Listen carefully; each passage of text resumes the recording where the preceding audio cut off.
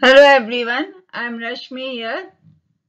I'm going to talk about pollution of air and water, but in this video I'm going to talk about only pollution of air. We can survive for some time without food, but we cannot survive even for a few minutes without air.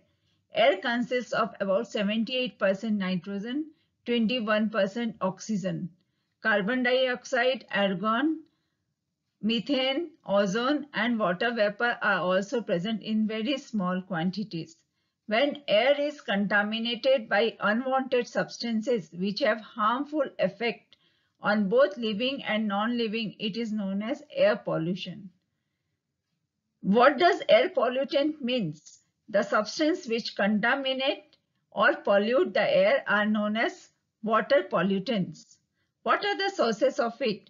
The sources of air pollutants are factories, power plants, automobile exhaust and burning of firewood and dung cakes.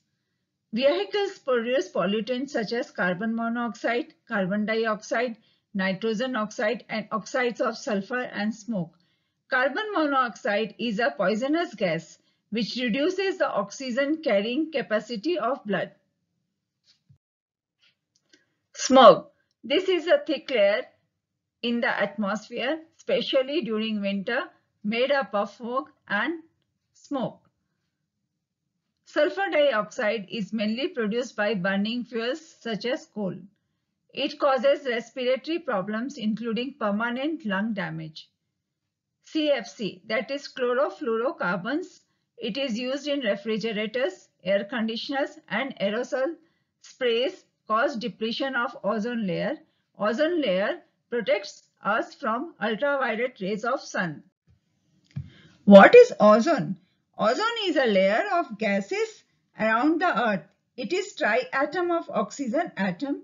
It protects the earth from the ultraviolet rays of sun.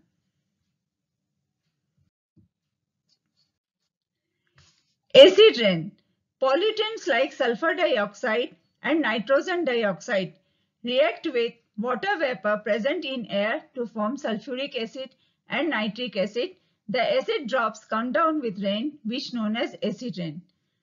This is evaporation of the water and NO2 and SO2, it's uh, reacting with the water vapor present in the air and forming H2SO4 and HNO3 and this acid drops come down with rain which known as acid rain. Marble cancer.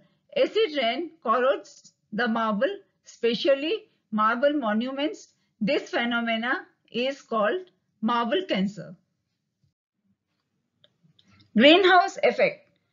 A part of the radiation of the sun that falls on the earth is absorbed by it and part is reflected back into space. A part of the reflected radiation is trapped by the atmosphere.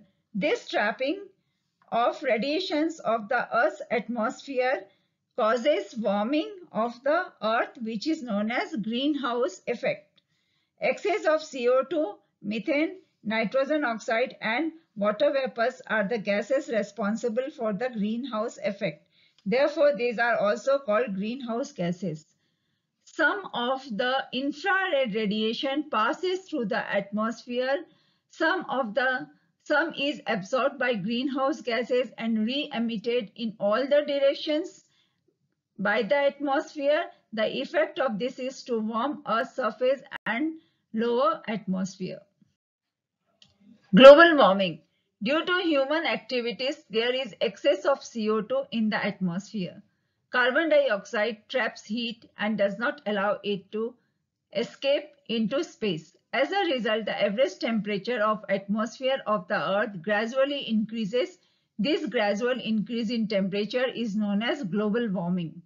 Causes of global warming are increase in population, increase in number of vehicles, pollution of air, cutting of trees.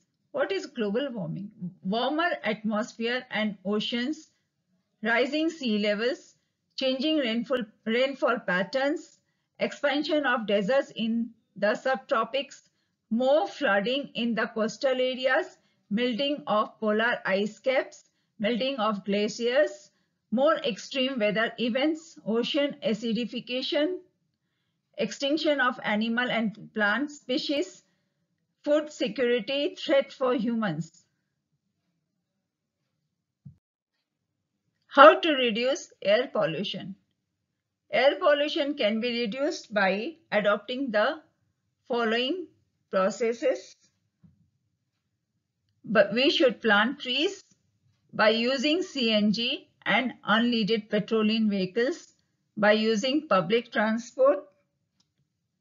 We should switch to solar energy, hydropower and wind energy instead of fossil fuels for our energy requirements. If you have any doubts or clarifications, feel free to contact me via my email. Thank you everyone.